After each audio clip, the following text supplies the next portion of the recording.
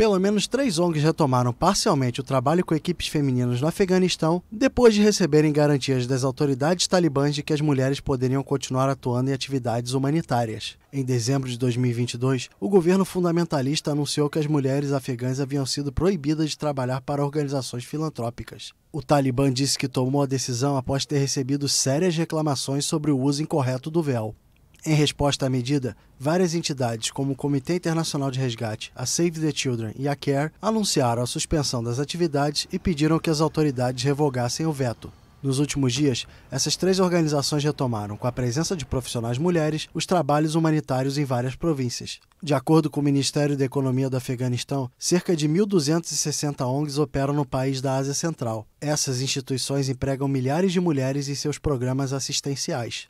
Mais da metade dos 38 milhões de habitantes do Afeganistão se encontra em situação de insegurança alimentar.